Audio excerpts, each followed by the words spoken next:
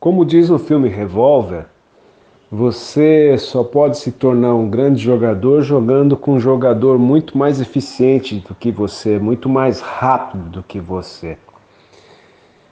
Realmente, a princípio, as emoções elas elas vêm com tanta força e nós estamos num estado ainda infantil de observação que a gente não consegue perceber o movimento do pensamento que acaba produzindo esse estado emocional que a gente se dá conta dele mais rapidamente porque ele se somatiza no organismo.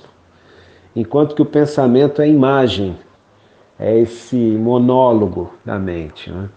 Então, só quando você começa a jogar cada vez mais com essa observação das emoções é que nós vamos conseguindo ter a percepção relâmpago, o inventariar relâmpago, a identificação relâmpago do pensamento.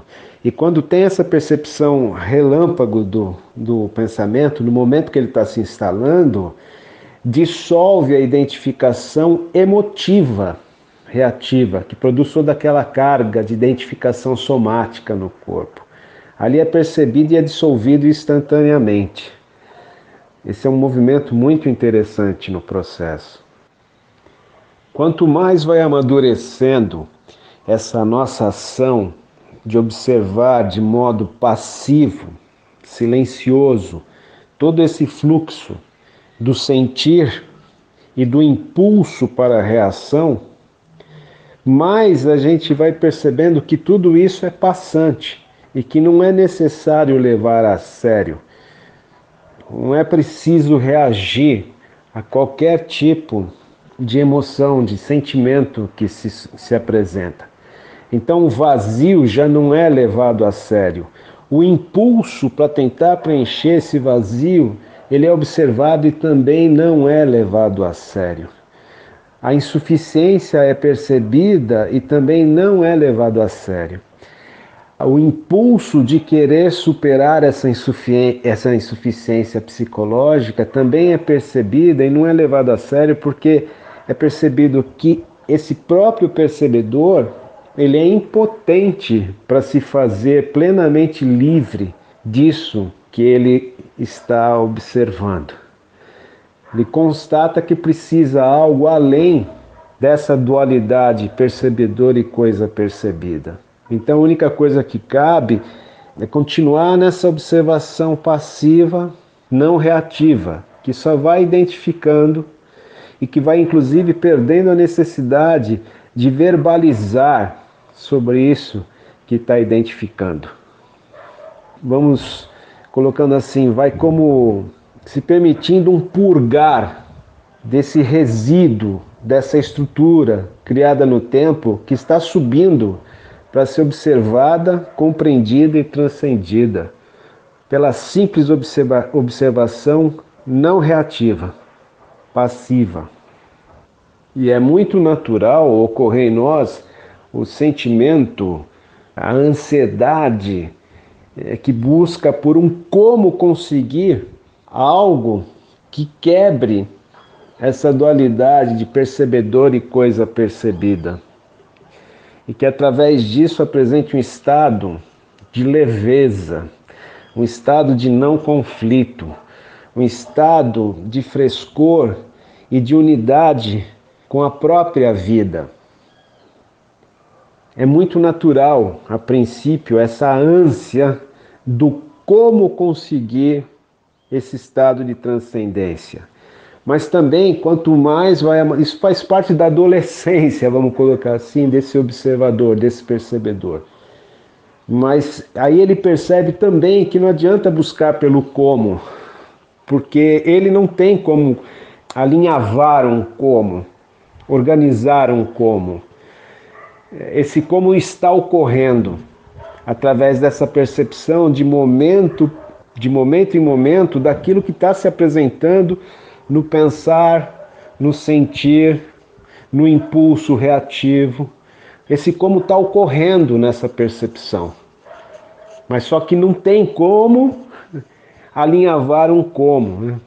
A única coisa que cabe, vai, vai se tornando cada vez mais claro isso, que a única coisa que cabe é uma percepção passiva, não reativa, que não busca por fuga, que não busca por verbalização consoladora, que só fica ali vendo, vendo, vendo, cada vez mais tomando consciência de si mesmo, cada vez mais tomando consciência da ambientação, cada vez mais tomando consciência dos impulsos emotivos reativos é, referentes a cada circunstância, a cada situação, a cada relação, a cada atividade.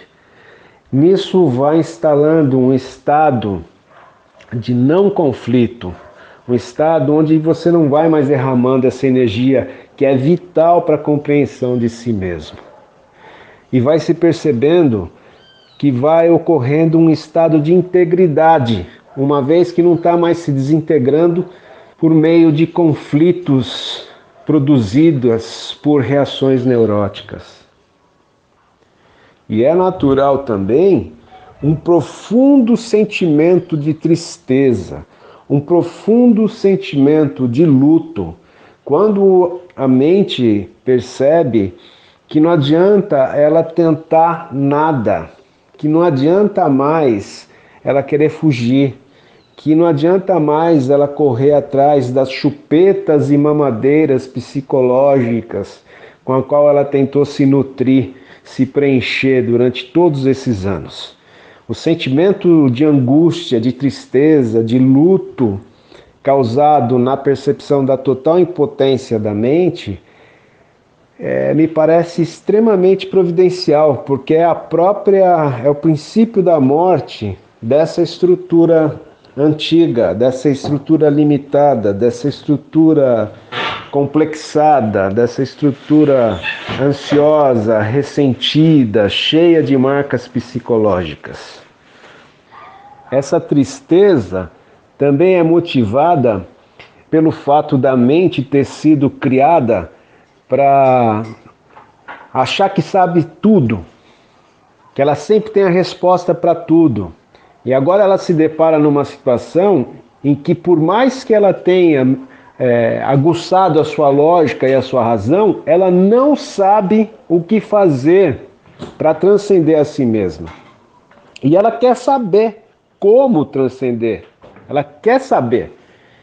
E ali a única coisa que ela sabe é que ela não sabe como transcender a si mesma.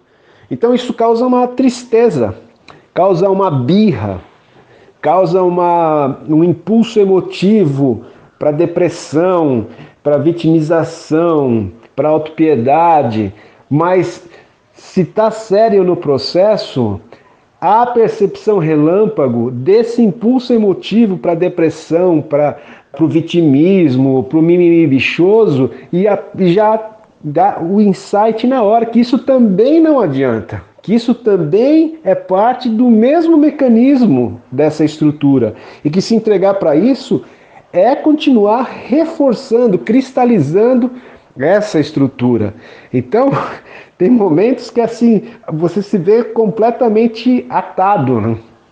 porque qualquer coisa que se apresenta é sempre um impulso do passado, é sempre algo pela qual a mente se retroalimentou. E a única coisa que a gente pode fazer é não se identificar, não se identificar com isso, identificar esses impulsos, mas sem ficar igual a eles, sem fazer o que eles estão pedindo. E a mente grita, né? Como você não vai fazer nada? Você tem que fazer alguma coisa. Você tem que saber o que fazer, mas não sabe o que fazer. É aqui que a gente vai entrando naquele processo de real rendição, de total rendição dessa estrutura limitada.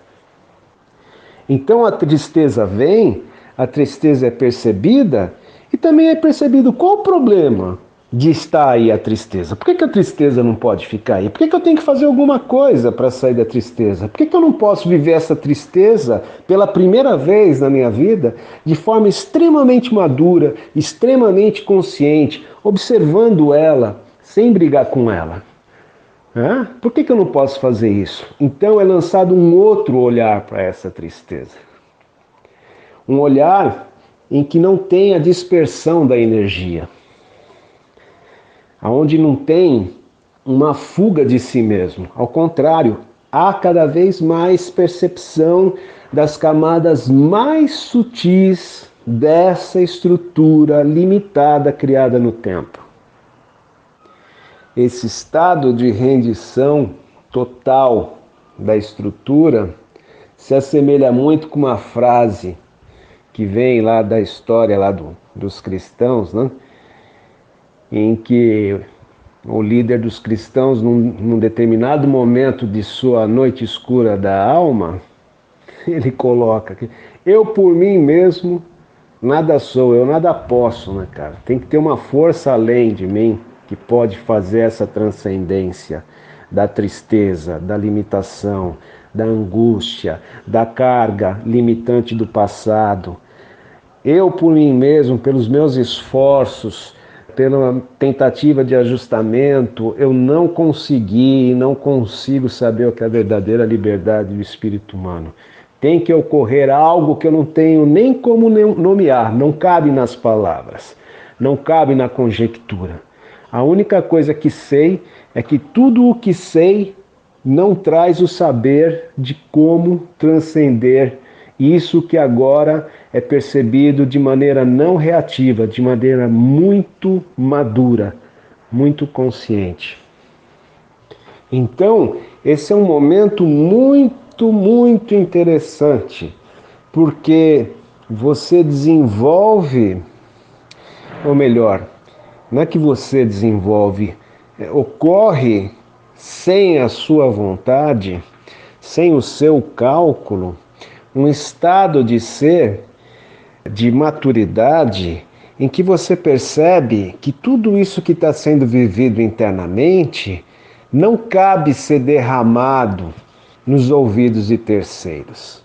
Isso só diz respeito a você, só diz respeito ao seu processo de maturação. Há uma percepção de que se derramar isso, isso que está nascendo pode ser abortado através das doações psicológicas provenientes de terceiros que estão até com uma boa vontade de tentar nos ajudar, mas que não tem como ajudar. Até porque muitos deles nem entraram ainda nesse processo do autoconhecimento, nem se perceberam ainda como seres psicologicamente extremamente dependentes. Então isso é vivido de uma maneira silenciosa, transparente para si mesmo, mas não transparente para os demais. Ninguém precisa ficar mais sabendo que você está vivendo um momento difícil, que você está vivendo uma fase é, depressiva, que você está tendo ansiedade, né? Você percebe, inclusive, esse impulso emotivo reativo de você se derramar no ouvido do outro, no colo do outro, nas mãos do outro, no livro do outro, no vídeo do outro, né? no áudio do outro, mas você percebe que não cabe, não compete mais. Isso são chupetas. Foram aqueles andadores para os primeiros passos mas que se a gente quer andar livremente, sem muletas psicológicas, aqui não cabe mais. Então, realmente, aqui é um momento que separa o adulto do adolescente espiritual.